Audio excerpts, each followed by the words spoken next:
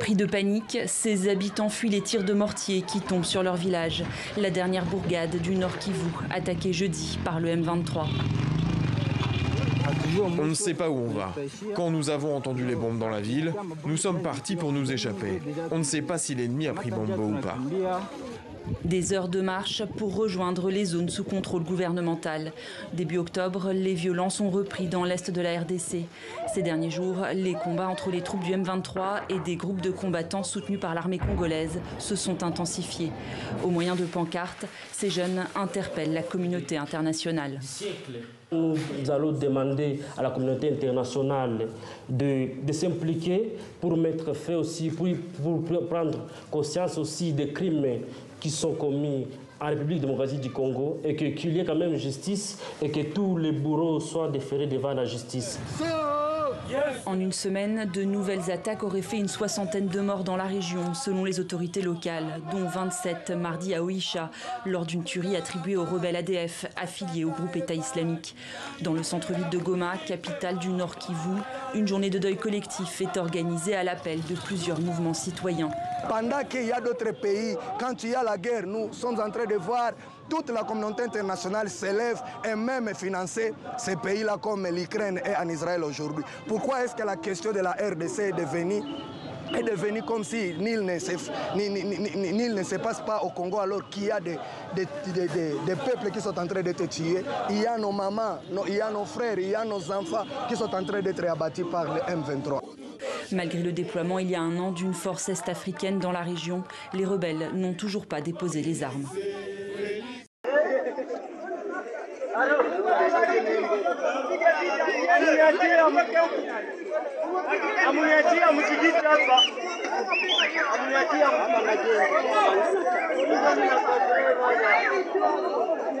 Bame 23 bana bati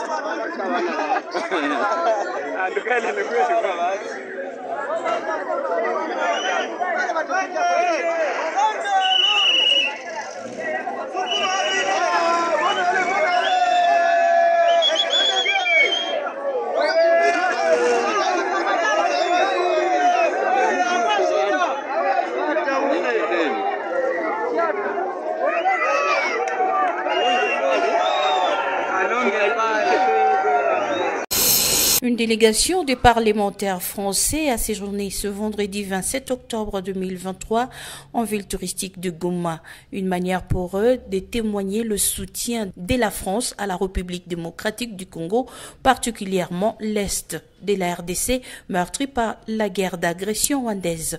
Ces parlementaires ont par l'occasion condamné le soutien de la République rwandaise au terroriste M23 bar RDF. Tour à tour, je vous propose de suivre Armand Légal et Carlos Martin Bilongo. Et nous, avons, nous lui avons indiqué que nous, euh, notre inquiétude sur la situation à l'Est et notre solidarité euh, avec la République démocratique du Congo. Nous avons entamé les travaux parlementaires au mois de juillet dernier avec une résolution visant à condamner le soutien du Rwanda auprès des forces de M23 sur l'Est de la RDC. Nous avons comparé ce projet devenu ici en République démocratique du Congo depuis six mois. Et nous tombons à un moment fatidique où il y a une recrudescence des violences à moins de 10 km de la, de la ville de Goma. Ces parlementaires français se sont rendus au site des déplacés des Boulongo pour palper la réalité de la souffrance qu'endurent les populations déplacées. Au cours des échanges, le représentant de ces personnes déplacées a remis un mémorandum contenant leurs recommandations. Nous voulons avoir un rétablissement de la paix durable dans nos milieux d'origine pour que demain ou après-demain nous puissions retourner. C'est la première et la capitale recommandation. Et aussi, nous voulons la restauration de l'autorité de l'État, nos chefs coutumiers nos chefs locaux puissent se retourner parce que nous sommes avec eux ici dans le cadre de déplacement. Nous voulons aussi à ce que vous traquez, vous traquez complètement les éléments du M23 que nous considérons comme des terroristes, les ADF aussi, qui, qui déstabilisent surtout l'Est de la RDC, pendant que nous, nous sommes euh, les victimes des déplacements. Téné pour dit, plus d'un million de déplacés des guerres sont aux alentours de la ville de Goma, comme l'a indiqué le vice-gouverneur de la province du Nord Kivu, le commissaire divisionnaire Jean Romialt et Koukali Popo. Messieurs, merci de votre fidélité sur Congo Live. Samedi 28 octobre 2023. Moïse, bonjour. Bonjour à vous, bonjour tout le monde, euh, de partout à, travers les pays et à travers le monde qui nous suit à pareils instants. Bienvenue encore ce matin sur Congo Live. Je vous en prie. Vous allez bien?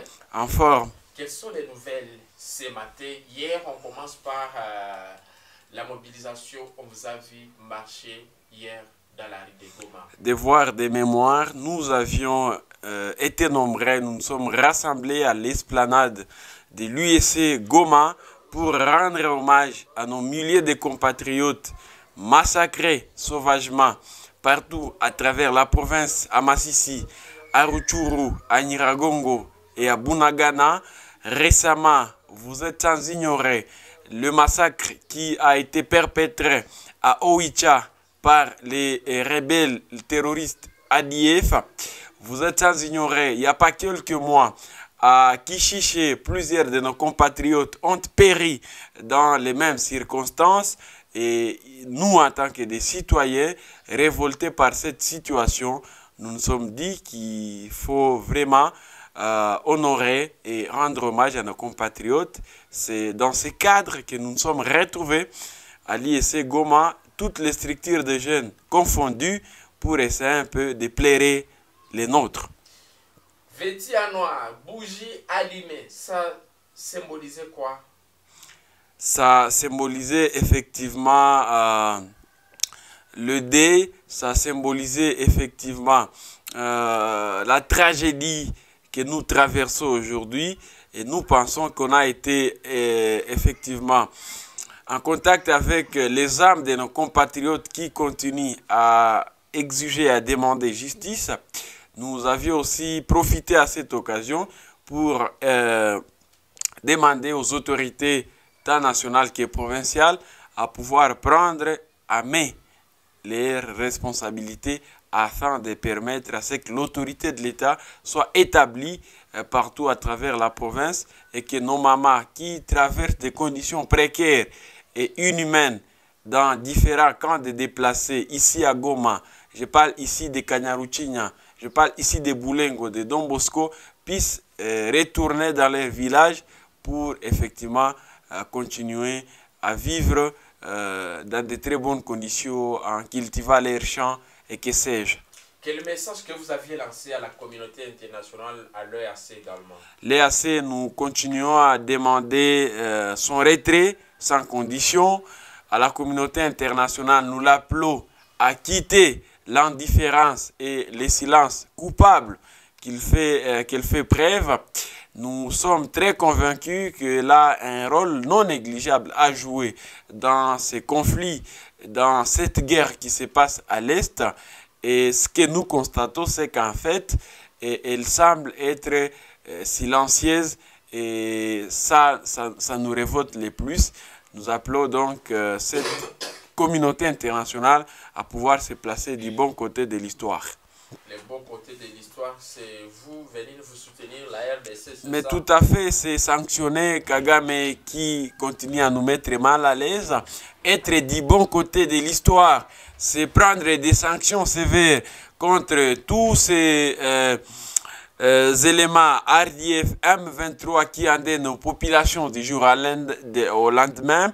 Être du bon côté de l'histoire, c'est effectivement euh, permettre d'arrêter d'appuyer et, de financer, d'approvisionner les rebelles du M23 en armes et munitions.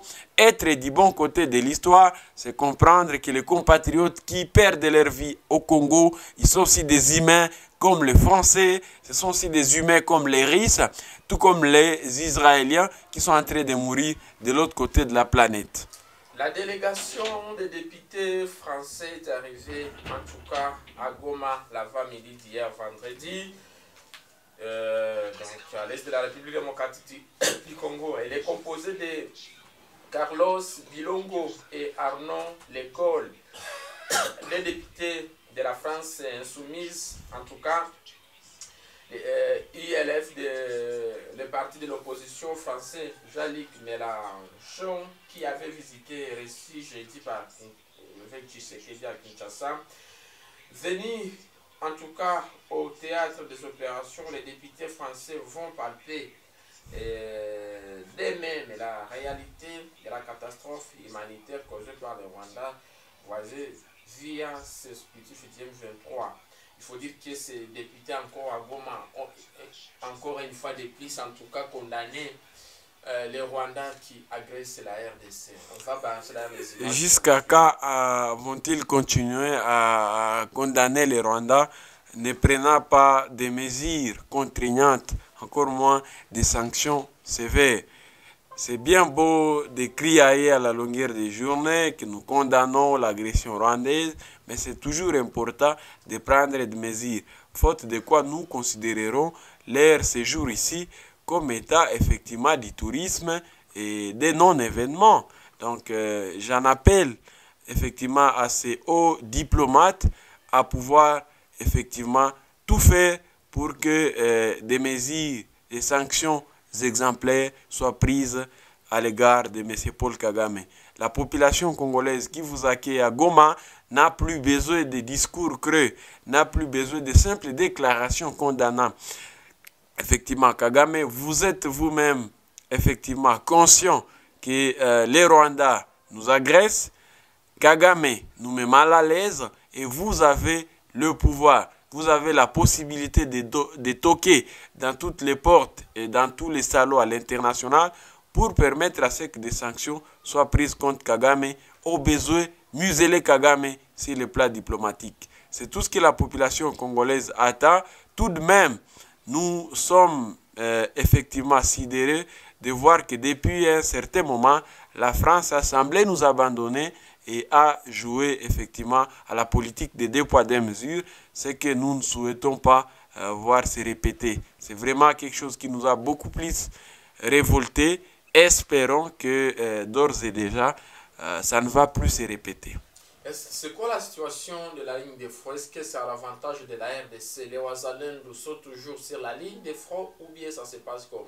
Les combattants Ouazalendo demeurent toujours engagés à faire face à cette barbarie des terroristes du 1-23, le moral toujours au zénith, et ils attendent effectivement que l'ego euh, du gouvernement congolais pour appeler le FARDC euh, à, se joindre à eux sur toutes les lignes de front.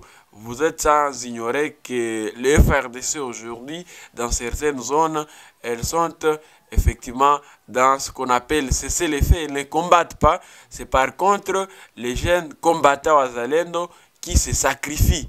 Et je, je pense qu'on devrait effectivement arrêter avec euh, cette affaire de cesser les faits et ouvrir les faits contre les terroristes du 23 Ce qui est sûr, c'est que euh, le gouvernement devrait déjà tirer les leçons de la mauvaise foi qui anime euh, Kagame et, toute sa bande et agir en conséquence. Les Ouazalendo maintiennent le moral au zénith et demeurent déterminés effectivement à, mettre fin à cette barbarie nous imposée par procuration par Paul Kagame et ses acolytes du 1-23. On voit chaque jour des fousseaux, des bis qui embarquent en tout cas les, les, les, nous, qui les amènent partout. Comment comprendre Donc ces jeunes continuent à se mobiliser? Ils vont se mobiliser jusqu'à ce que ça prenne fin. Nous avions perdu beaucoup de, nos, de nôtres et nous ne pouvons pas accepter que nous puissions aussi être victimes de cette euh, barbarie d'Ian 23. Voilà pourquoi j'estime, à mon avis, que déjà euh, l'attitude qu'affiche le Wazalendo, non seulement elle est à saluer, mais elle est nature effectivement à rassurer et à donner l'espoir au peuple congolais. Les FARDC qui ont en principe cette mission première et régalienne de sauvegarder l'intégrité de notre territoire obéissent aux ordres de l'hiérarchie en s'inclinant au cessez-le-feu, mais les jeunes combattants Wazalendo, ils s'en passent de cela et se battent à Niragongo, à Massissi et à Ruchuru et on peut espérer à une issue favorable. À une issue favorable, donc à une victoire. Tout à fait. Mais il y a les Rwandais aussi qui ne baissent pas les bras. La société civile ne cesse d'alerter l'entrée et les renforts qui viennent partout chaque jour du Rwanda. Ça, c'est aussi euh, regrettable, mais je crois que les gouvernements devraient aussi songer à sécuriser euh, nos frontières. Aujourd'hui, d'aucuns ignorent que nos frontières sont paupérisées et d'un moment à l'autre, de temps en temps, les rebelles essaient un peu de profiter à travers effectivement cette problématique pour nous mettre mal à l'aise. Dès lors que nous ne sécurisons pas très bien nos frontières, surtout côté est, surtout ici euh, dans la province, ça, ça, ça, ça, ne nous permet pas de très bien avancer.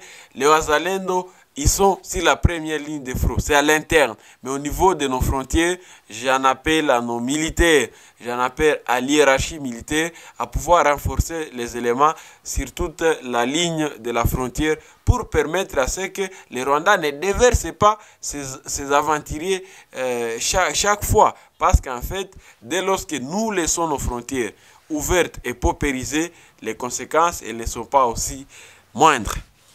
Israël, frappé par les Hamas, dans moins de 24 heures, les Israéliens, je ne sais pas, l'État juif hébreu a réagi à la seconde, mais la RDC frappé plus de 20 ans, toujours à cesser les faits, toujours on est là, on observe. Comment comprendre cela? C'est parce que la communauté internationale le veut. Et je l'ai toujours dit. On est un pays souverain quand même. Quand vous mais nous sommes ici des Nations Unies, nous faisons partie des Nations Unies. Nous avions des clauses avec effectivement cette fameuse communauté internationale. Et elle est censée effectivement nous venir en appui en ce genre de circonstances. Autant qu'elle est en train d'aider euh, les Palestiniens, elle devait le faire pour la République démocratique du Congo. Je n'ai pas encore vu le secrétaire général des Nations Unies, Antonio Guterres, appeler les euh, Palestiniens à observer les cessez-le-feu. Je n'ai pas encore vu ici le secrétaire des Nations Unies, Guterres, et même tous ces hauts diplomates à l'international, essayer un peu effectivement de demeurer indifférents pour la situation qui se passe entre l'Israël et, la Palestine, mais pour la République démocratique du Congo, visiblement, ils nous prennent pour des petits enfants. Voilà pourquoi je pense que le gouvernement aussi devrait euh, effectivement comprendre que nous faisons face à des hypocrites, nous faisons face à des impérialistes qui ne girent qu'à notre malheur. Et nous devons les pousser à agir. Nous devons les pousser à quitter cette indifférence et à être du bon côté de l'histoire telle que je l'ai dit tantôt. On ne peut pas comprendre que pour la situation qui se passe en Palestine, la communauté internationale se mobilise comme pas possible. En Égypte, c'est les Nations Unies qui déploient des matériels, qui déploient des nourritures et que sais-je pour secourir effectivement les Palestiniens au détriment même des Israéliens. Ce qui ne se comprend pas aussi, en principe, les Nations Unies devraient être nos partisans, mais on sait que même pour la, la situation qui se passe en Israël, visiblement, beaucoup de pays sont aux côtés effectivement du Palestine et l'Israël se retrouve seul dans ses bottes. Je crois que c'est quelque chose qui ne réjouit pas plusieurs compatriotes, même à travers toute la planète. Et déjà, on comprend que l'impérialisme continue dans continue effectivement à s'empurer, continue à prendre des ampleurs assez inquiétantes. Alors, qu'est-ce qu'il faut faire concrètement pour finir cette guerre? Ce qu'il faut faire au niveau local, le gouvernement congolais doit comprendre qu'il a ses responsabilités à assumer. C'est effectivement la sécurisation de la population et c'est bien la sécurisation des frontières au niveau sous-régional. Nous avions dit à la longueur des journées, les forces extérieures qui sont venues au rescousse à la République démocratique du Congo, je parle ici spécifiquement de la force régionale, l'EAC, n'a pas été à mesure effectivement de nous aider et s'est substitué à une force d'interposition entre les gouvernements congolais, le FRDC et les rebelles du 1-23. La population exige à l'air euh, à, l'ère qu'il a, son départ. Nous ne voulons pas de l'EAC, nous ne voulons pas de la SADEC qui aussi joue presque le même jeu. À l'international, aujourd'hui, effectivement, le gouvernement l'a dit haut et fort, nous ne voulons plus voir la MONISCO continuer effectivement à faire le tourisme ici alors que nous sommes en train d'être tués comme des mouches.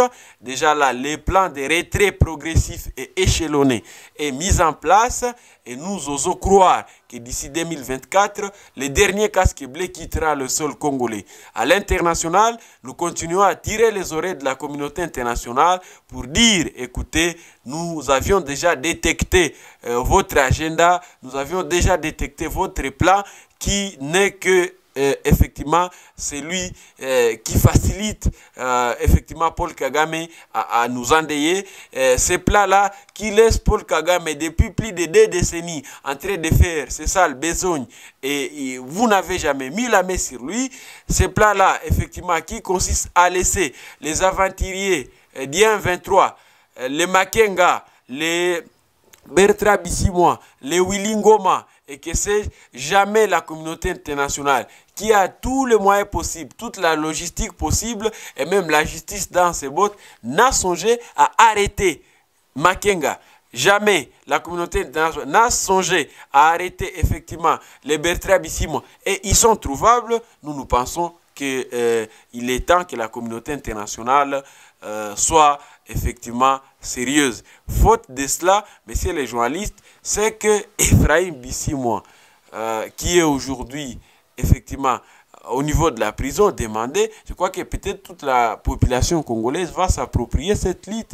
Nous risquerons d'en arriver au niveau où nous allons maintenant toute la communauté internationale confondue, les agences, les forces extérieures et que sais-je. Mais avant qu'on en arrive là-bas, je pense qu'elle devrait aussi euh, prendre euh, en compte l'ampleur de la situation et agir quant à ça. D'accord. Alors, euh, la situation, je rappelle qu'elle est calme. C'est samedi matin sur la ligne de front de Kibumba. Mais on rappelle que Kibumba est toujours sous contrôle du M23. Nous, nous pensons messieurs les journalistes que... C'est proche de, du Rwanda, de la RDC. Tout à fait. C'est une zone euh, à, travers laquelle les, Rwandais essaient un peu d'approvisionner euh, du jour au lendemain. Donc là, c'est facile pour Kagame de déverser ces éléments, de déverser tout ce qu'il a. Et nous, nous pensons effectivement que le gouvernement devrait aussi euh, peaufiner des stratégies pour voir comment est-ce qu'on peut sécuriser Kibumba. Et même jusqu'à présent, je le rappelle, même une grande partie de Kichanga demeure sous le contrôle des rebelles. Et nous ne savons pas si on va continuer euh, avec cette logique où est-ce que nous en serons? Donc le gouvernement doit prendre en compte effectivement cette situation. Je, je préférerais aussi euh, qu'à la délégation de ces diplomates qui se retrouvent ici, mhm. si ça serait possible, qu'elle puisse aussi se déployer sur la première ligne de front, peut-être pour... Euh, Ce sont des Français, ce ne sont pas des Congolais, je vous rappelle. Mais effectivement, mais ils pèsent sur le plan international, ce sont des diplomates.